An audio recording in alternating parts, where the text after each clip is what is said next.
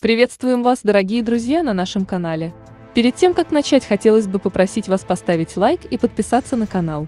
Приятного просмотра! Стало известно о рабочей поездке президента Украины Владимира Зеленского вместе с первой леди в Великобританию.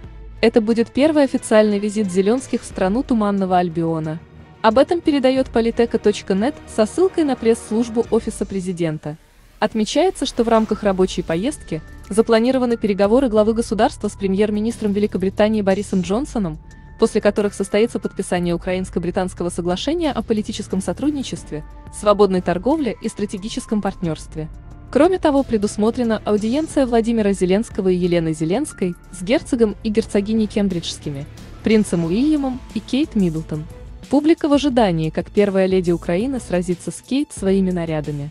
Также Зеленский встретится со спикером Палаты общин парламента Великобритании Линдси Гойлом, лордом-мэром лондонского Сити Уильямом Расселом и посетят лондонскую фондовую биржу.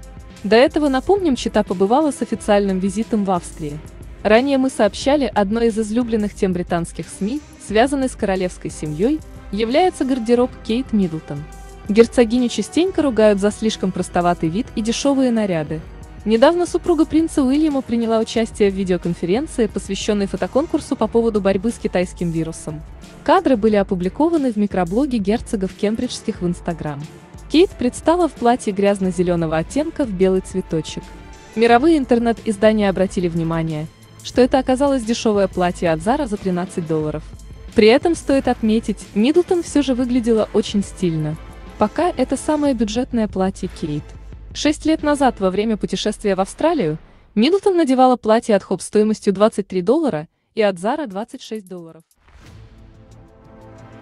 Гарри рассказал, что до встречи с Маркл просто не знал о проблемах, с которыми расовые меньшинства сталкиваются как в Великобритании, так и во всем мире – когда заходишь в магазин с детьми и видишь только белых кукол, задумываешься. Странно, почему здесь нет черной куклы. Задался вопросом он. По словам принца, это лишь один из примеров. Часто люди не осознают, каково представителям расовых меньшинств оказаться в такой ситуации. Привычный для нас мир создан белыми для белых, добавил он.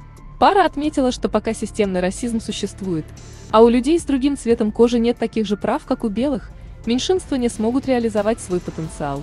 Гарри добавил, что в Лондоне расизм все еще остается серьезной проблемой, при том, что это один из самых мультикультурных городов мира.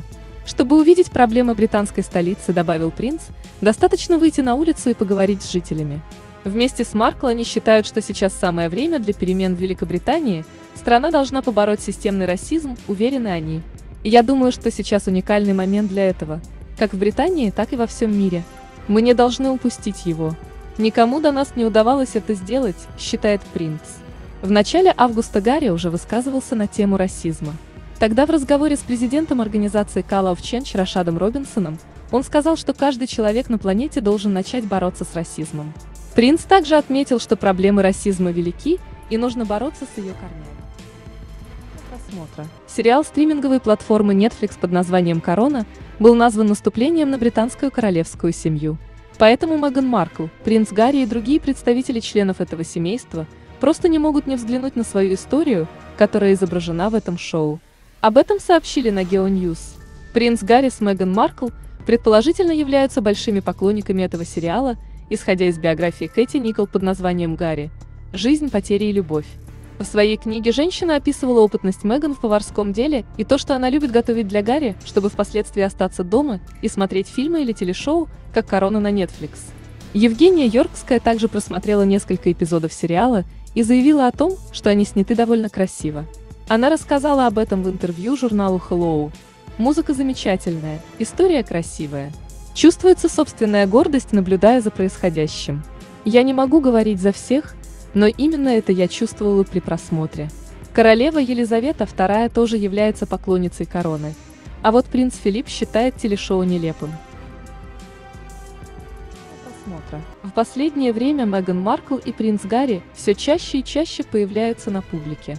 Недавно они записали короткий ролик для американского ТВ во дворе своего дома. Он был приурочен к появлению герцогов в списке 100 самых влиятельных людей по версии Time. На этот раз пара решила провести онлайн-встречу с журналистами британской газеты Evening Standard. Как сообщает издание, герцоги Сассекские говорили о политике и расизме. Гарри призвал завершить дискриминацию темнокожих в Великобритании. Причем отметил, что раньше этому вопросу не придавал особого значения. Мнение изменил, конечно же, благодаря супруге. Кроме этого, речь зашла и о личном. Сассекские рассказали, как им повезло с сыном, Арчи уже 16 месяцев, и он постоянно чем-то занят, чтобы родители не расслаблялись.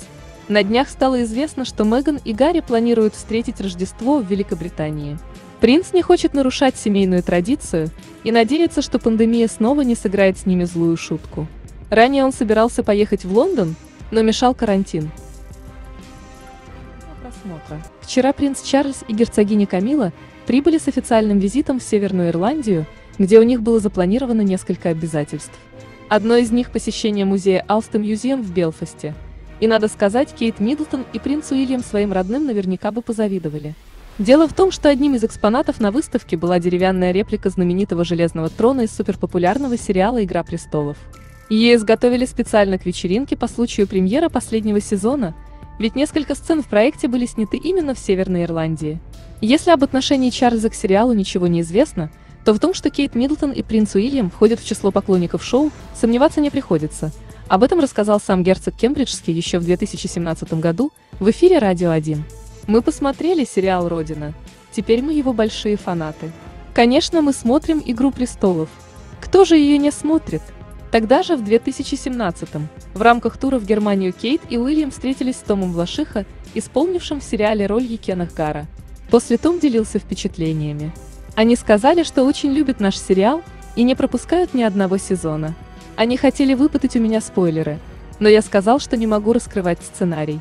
Я был удивлен, что они находят время для такой длинной истории.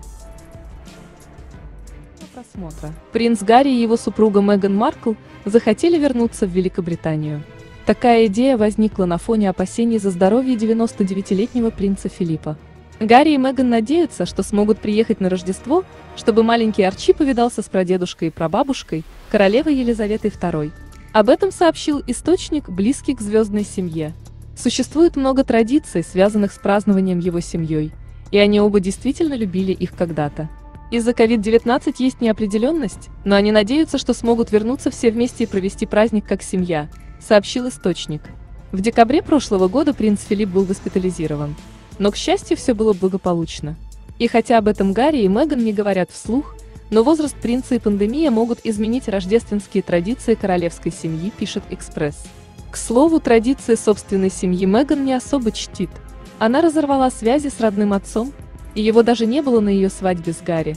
Понятное дело, СМИ тут же взялись за личную жизнь Маркл, и актрисе это не понравилось. Пока что суды с изданиями заканчиваются не в пользу Меган.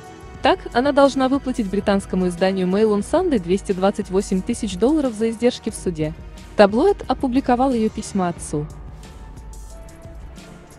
Просмотра. Продолжаются судебные слушания по делу о публикации личного письма Меган Маркл к отцу.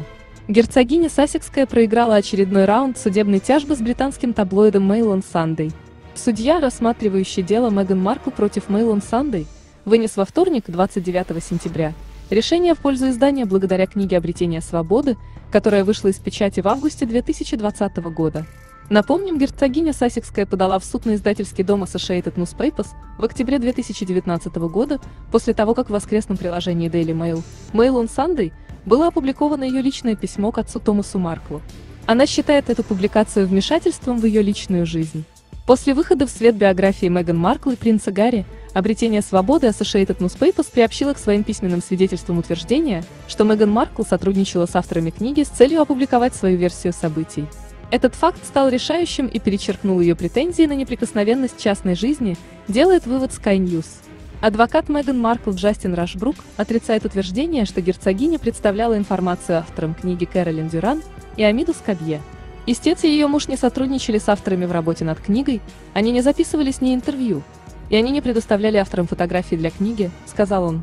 Судья Франческа Кей постановила, что Associated Newspapers может использовать книгу в качестве доказательства, но заявила, что представители Меган Маркл имеют право обжаловать ее решение в апелляционном суде. Кей предупредила Associated Newspapers, что доказательства, построенные на содержании книги, могут рухнуть, если дело дойдет до суда.